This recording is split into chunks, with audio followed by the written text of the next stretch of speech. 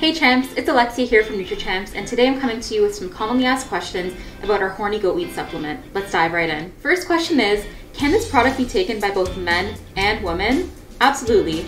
Horny goatweed is taken by both men and women, and other than the great sexual health benefits, it also helps to boost your energy because of the amazing herbs that are in this formula. Second question is, can I take this product alongside ginseng?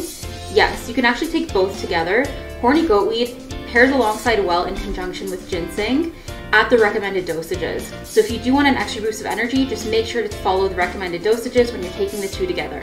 Final question is, what are the benefits of the other ingredients paired alongside horny goatweed? Our horny goatweed has other ingredients that are paired alongside it for extra benefits including maca, tribulus, and tongkat for a boost in libido, performance, and drive. Thank you so much for watching. At NutraChamps, our customers are our number one priority. If you guys have any questions at all, please feel free to reach out to our customer service team and they'll be happy to assist you.